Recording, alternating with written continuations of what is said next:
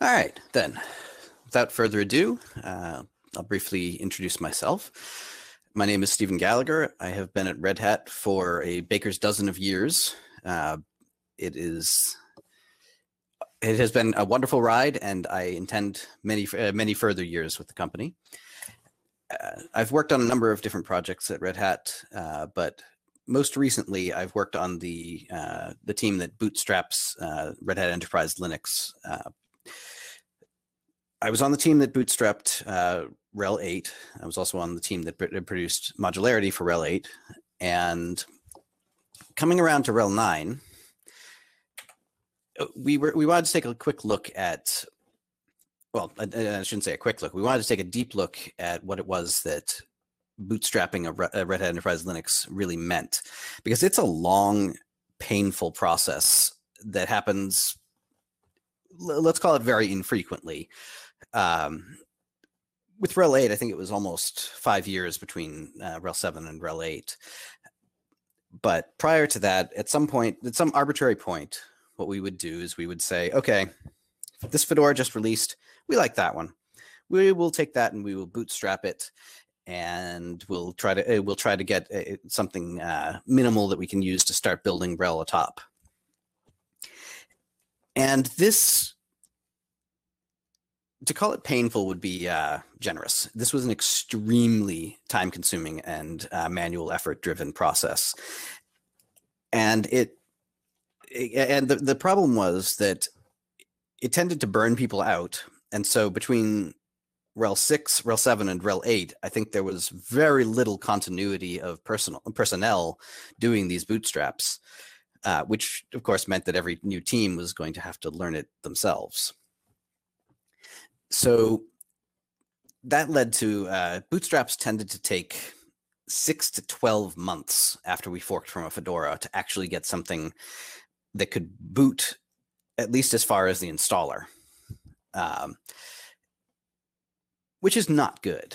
And that was definitely something that uh, now that we Red Hat have announced that there's going to be a three year schedule for releases. So we're going to be releasing RHEL 9 probably next year. And then three uh, years after that, uh, we'll be releasing RHEL 10. Three years after that, we'll be re- releasing uh, RHEL 11. And hopefully, I'll be retired before we have to release RHEL, RHEL 12. But uh, there had to be, a, there has to be a better way of uh, building RHEL from the ground up and taking advantage more of the resources that we have available to us with Fedora, not just uh, uh, physical, not just physical resources like the uh, like the build system and the uh, um, and the infrastructure there, but also the person, the the people, the the human resources that uh, are excited to help us actually produce something that we can maintain, not just uh, something that not just something that we can something something that we use as a hobby is is uh, where we start with Fedora, but there are definitely a lot of interested parties who want to build something that will be able to last for 10 years and support their applications and we want to be able to do that much more in the public and that was something i'd been fighting for at red hat for north of a decade and this last couple of years, we've had uh, some huge changes in how we uh, build software at at RHEL, at Red Hat. Sorry, with the on, with the uh, advent of CentOS Stream for uh, for RHEL 8, uh, which admittedly had a rocky beginning. Um, but I think people have started to come around to recognizing just how exciting it is to be able to actually publicly contribute directly to the uh, work that we're doing. And similarly, it's it's beneficial for the red hatters because there's a lot more view a lot more eyes a lot more uh, code review a lot more uh, just assistance in all sorts of ways documentation and whatnot uh, with being able to do their development in the public. So we wanted we sat down and we wanted to take stock of that and and just figure out okay we still have that same problem with CentOS Stream 9 we we need to find a we need to be able to bootstrap that in such a way that another team can continue to do that for uh, for CentOS Stream 10 and so on. So we start uh, so we began a new project and uh, we gave that project the code name El Nino. uh, which it, is a pun, uh, as any of you who have seen me give a talk before knows. I'm very, very fond of puns. Um, the name, of course, uh, derives in part from uh, L, the EL portion uh, stands for Enterprise Linux, just like it does in EPEL or RHEL. Um, the Nino portion is the Spanish word for male child. Uh, the implication being, of course, that this project should always represent the immature version of what will grow up into enterprise Linux. Um, and then, of course, collectively, uh, El Nino is also uh, the, the name of a type of weather pattern that occurs about every three to four years in the Northern Hemisphere and brings quite significant storms with it. Um, so I think I feel like the uh, the metaphor there should be relatively obvious. So uh, so we embarked on ELN and we, uh, sorry, what what would eventually become uh, ELN as a more palatable public name as a mechanism of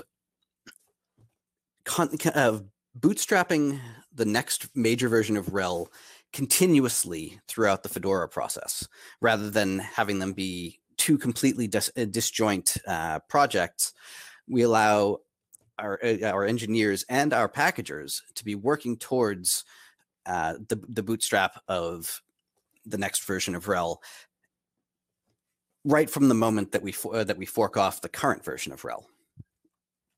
So, uh, so what exactly does that mean? What is it, what is it that ELN does for us? It's an early preview of what RHEL N plus one will look like, and it allows us to do some packaging and uh, work and uh, to maintain RHEL style changes upstream in Fedora test them and prove out that they work well in advance of that moment when we break off and uh, and start and uh, start hardening RHEL So what do those uh, what do those changes look like? Um, some of them are very uh, are, are, very straightforward. We've got things like uh, compilers, uh, compiler optimizations, or compiler flags, perhaps we know that the upcoming RHEL is going to drop support for really old hardware, so we want to make sure that everything can still build if we have an, uh, on the newer, higher baseline, uh, or on newer, uh, or on some new uh, hardware that we may or may not have yet. Um, whether or not we want to turn on some optional optimizations, uh, things like link, uh, like LTO has been a very big, very big topic over the last few years, and I'm happy to say that we are nearing the middle of that process, so that's good. Um, uh, some other things that are fairly common in RHEL, but have always have traditionally not happened in Fedora, is in RHEL we try to minimize the number of packages that we have to maintain, uh, particularly because we're maintaining it for a very very long time, and that's a lot of work, even for a relatively minor package. You have to worry about, uh, you know, what happens when, a CVE comes in, what happens when a major bug fix comes in, and that, and for every package, we have to have somebody who's responsible for it. So naturally, in RHEL, our goal is to bring is to try and find what is that minimum subset of packages that absolutely must be in the distribution in order for the in order for RHEL to be able to deliver on its promises of uh, uh, of uh, stability and its promises of being a platform for running uh, stably whatever uh, application you want to do you want to put on it. So one of the things that uh, we've done a lot over the years is we've trimmed dependencies out where they are where they may exist in Fedora, but we have, for example, many packages oftentimes have experimental or uh, or testing uh, options that are enabled in Fedora because it's often usually built as a sub package or or otherwise made available in Fedora because that's what Fedora is. Fedora is exciting. Fedora is new. Fedora is features, and we want our friends to have those features. Um, but we have different needs in an enterprise distribution. So one of the things that ELN allows us to do is start to is to work up uh, further back in the in the uh, timeline to trim out some of those things that probably aren't going to make it into RHEL like uh, you know, like an experimental feature that we know isn't ready for prime time, or um, that we want to make, or maybe we want to eliminate, eh, not have to maintain a whole lot of uh, build time dependencies. Uh, so maybe we allow it not uh, allow uh, the ELN version of the package to not have to run its uh, its packaging time tests, and instead we put those in a in a test suite that is allowed to pull packages from PyPI or uh, any of the or, or Maven or any of the other uh, packaging uh, services instead of us having to maintain in the in the RHEL distribution the actual uh, the, the, package for customers to use for arbitrary uh, purposes for a decade.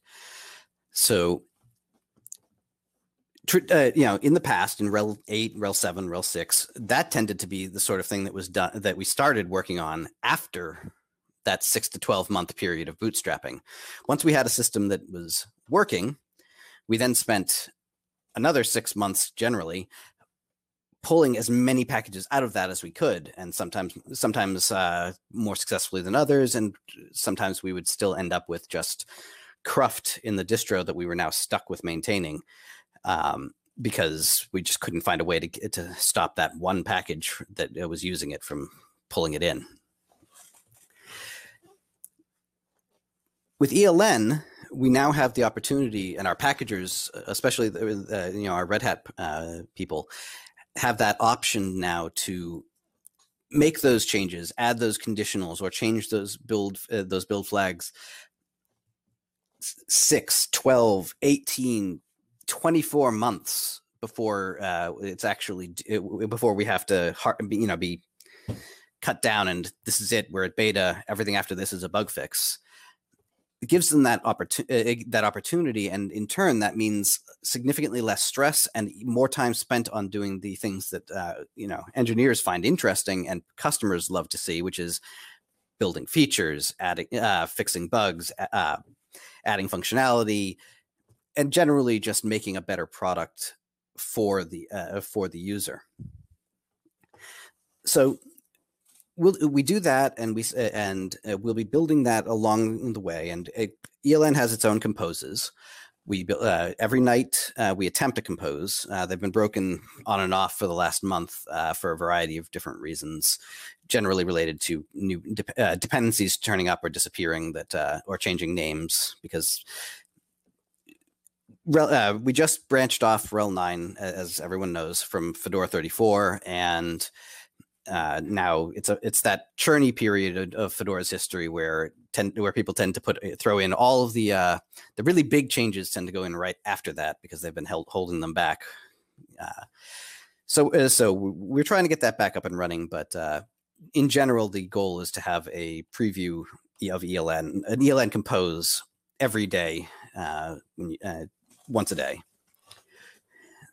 So I, I mentioned before a little bit about uh, how Fedora, uh, how we broke the inheritance in Fedora 34, and then CentOS Stream broke. Uh, CentOS Stream then took over. We wanted to uh, at this point, all changes are now uh, EL only. At this point, uh, this is this is really the point where um, we're finalizing the bootstrap. We're trying to get to uh, what we internally refer to as an alpha. We don't really have a public alpha release, but um, that's the point at which uh, that we used to describe as okay, we've got a bootable installer. Now, uh, nowadays we're doing that pretty much in CentOS Stream. Uh, in this case, CentOS Stream nine, and it seems to again seems to be going really well, uh, and we've got we've gotten quite a few uh, uh, non Red Hat contributions, which is absolutely delightful and what exactly what we wanted to see. Um, we learned a few things in the in the in this RHEL nine process, this ELN uh, to RHEL nine uh, to CentOS Stream nine process. Uh, first of all, when we initially designed the the process we were going to follow, we had our, we had plans and we executed on these plans to branch uh, from Fedora, Fedora 34 at GA freeze, at final freeze. And the reason for that was because we want we needed to have a hard date. We knew that um, we uh, the RHEL planning needed to know exactly when we could make that branch because there's a lot of moving parts that have to happen internally. And uh, so what we did, it was so we reasoned that okay, we want to get it, pull in as much stuff from Fedora without having to without having to have our packagers maintaining, uh, you know, pulling things over manually as long as we can. So the hard, so the latest fixed date we have is the GA freeze. So great, we break uh, we broke at the uh, final freeze for Fedora 34. What we discovered, however, was that this introduced a couple of uh, uh some some uh, confusion because there was a per- that period of about a month and a half between um, the branch date when Fedora 34 became its own branch and the uh, actual final freeze. And it turns out that that time that month month and a half really confused our packagers because they didn't uh, they didn't uh, despite as much messaging as we tried to do they couldn't uh, follow that uh, okay so committing it to rawhide no longer gets it into what's going to be el uh, what's going to be RHEL 9 um, they had to for a month they had to commit to fedora 34 and then all of a sudden now that closes off and they're committing to CentOS Stream. So that that that was a bit of a struggle and that was a little confusing and people uh, and uh, so what we're going to do next time around which should be around Fedora 40 unless we skip uh, uh unless we uh, change our numbering scheme or skip a uh, skip a release um, we're going to actually make that branch right at the the Fedora 40 branching date instead of the the final freeze date. Um, and similarly, one of the other things that happened when we when we uh, broke the inheritance at final freeze is, uh, of course, that very moment ELN suddenly stopped tracking RHEL 9 and became and started tracking RHEL 10 so anything that was going into rawhide at that point congratulations, that will be in the next version of RHEL as far as, as far as we know from now. And we have and we can we have started already to bootstrap RHEL 10 and RHEL 9 isn't even out yet in beta. That that was the uh, that was the goal of this project and uh, it's it's working and what we need from here is as much help as anyone's willing to give to help us get to that next that next RHEL 10 and, and if you have exciting things you want to do there you can already start doing that. It's not uh, you can do it. You do it in Rawhide. Fedora gets uh, reaps the benefit, and we automatically rebuild it into the uh, with the ELN flags and and compiler compiler flags and optimizations and uh, and uh, and conditional macros. And we just try to keep that compose up and running, and then somewhere down the line on around around Fedora 40, RHEL 10 is spawned. And that's how you get a RHEL. So I am going to move to questions, and I'm on a different screen right now, so I gotta. All right. So uh, I will go through the Q and A. Uh, Paul Flaherty, uh, what is ELN, and where do I get it as a test?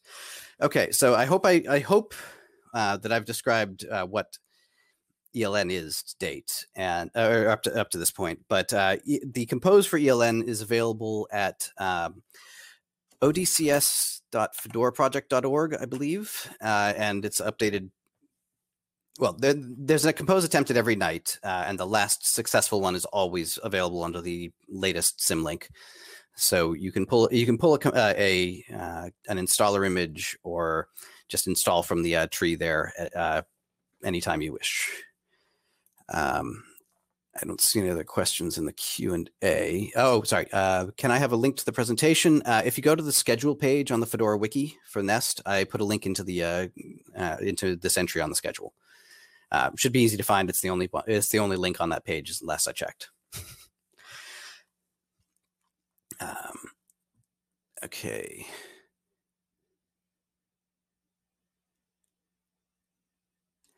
Um, looking, I'm just scrolling past the back in the chat now because I don't see any. Que- oh wait, uh, this is going to sound silly. Is there any documentation on how to bootstrap something similar to RHEL? Um,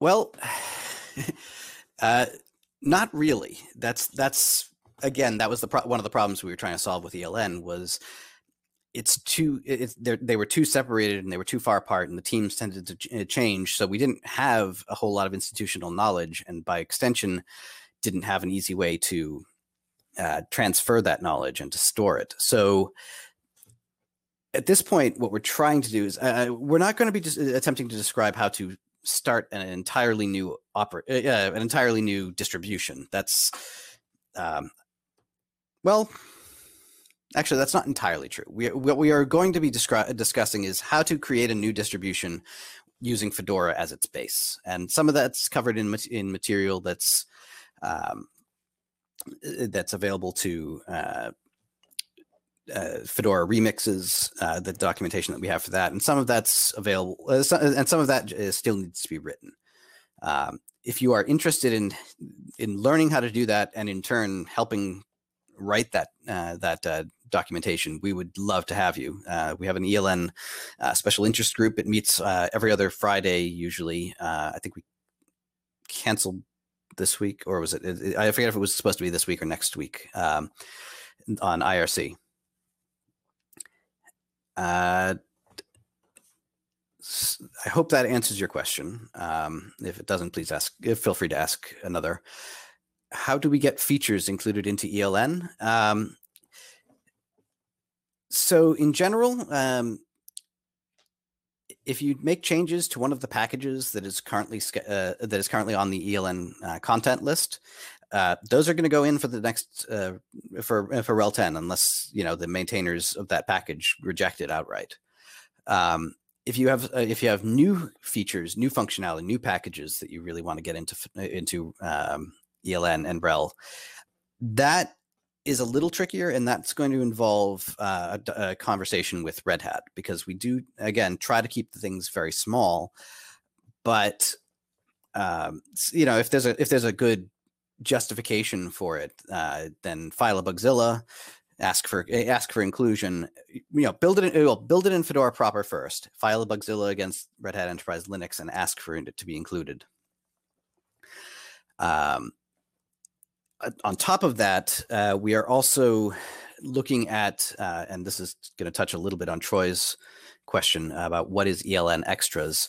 We're going to be looking at building a something like uh, something like EPEL that tracks ELN throughout its uh, throughout its uh, life cycle, and eventually, when when ELN forks into CentOS Stream, have that fork into the next version of EPEL as well. Um, I'm actually going to invite if Troy is if Troy wants to talk a little bit more about that. Uh, he's definitely the expert, so I, would invite him to uh, join the uh, join as a speaker if he wants to cover that cover a little more. Um,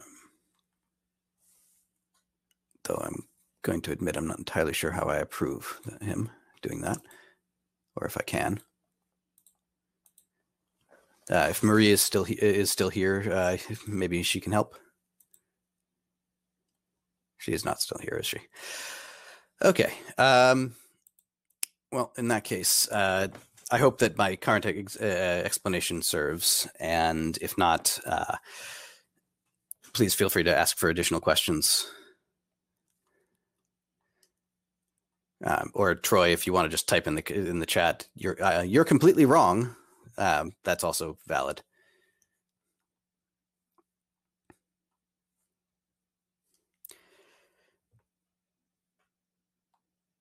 Uh, just scrolling back through the chat real quickly to see if there were any questions that didn't make it to the Q and A.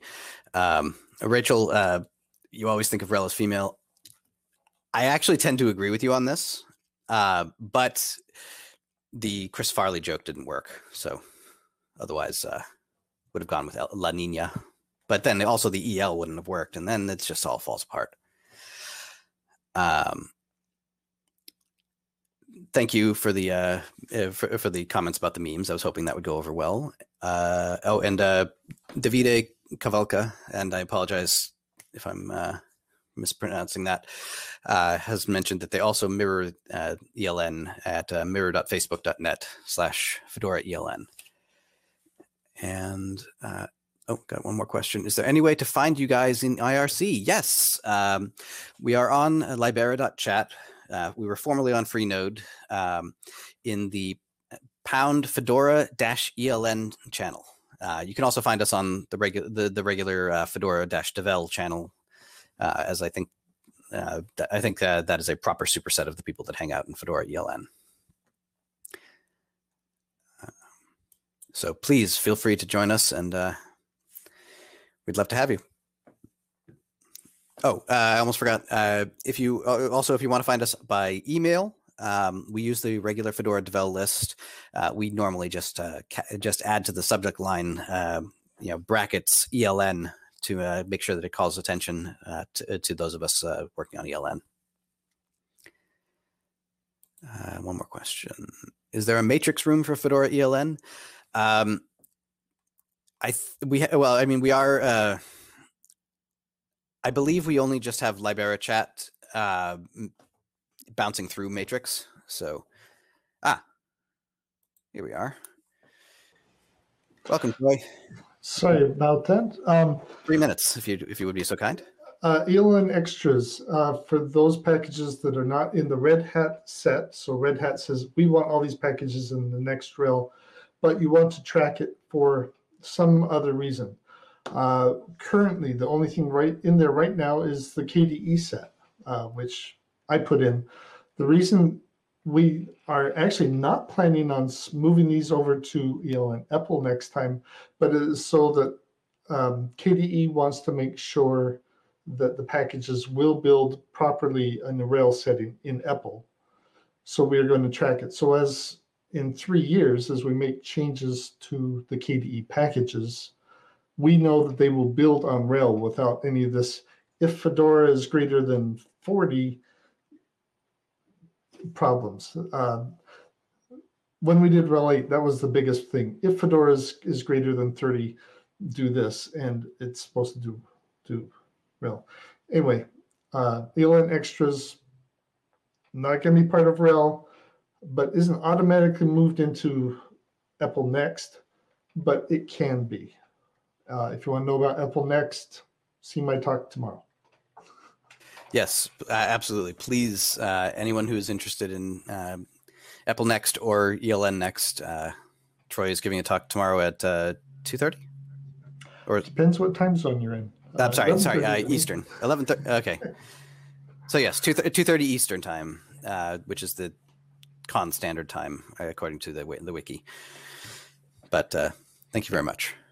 And with that, I believe we have come up to the end of our time. So. Uh, if you have any further questions, uh, I will be hanging around the event. I'll probably hang around in the social channel for a while. Uh, feel free to come up and ask. Thank you very much, everyone.